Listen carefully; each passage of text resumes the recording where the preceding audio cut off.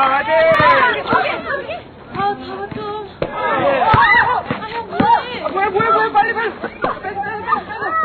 막아, 한 명씩, 빨리. 타임, 타임, 타임. 야, 김창식, 넌 안 뛰냐? 나만 안 뛰었어? 아, 형 왜 이렇게 몰려다녀? 아, 걸그룹이냐? 걸그룹 갔거든? 자, 배고프면 고기로도. 오케이? 오케이! 출출할 때 넌 네가 아니야. 스니커스!